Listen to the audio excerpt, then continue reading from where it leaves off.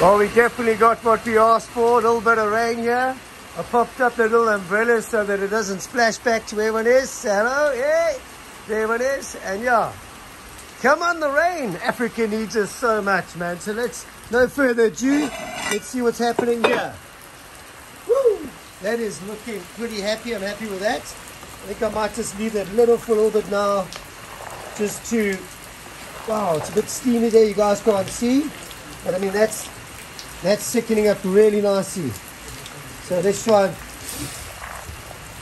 Woo, did you look at that? I think it's more my phone that's steamed up than anything else. Yeah.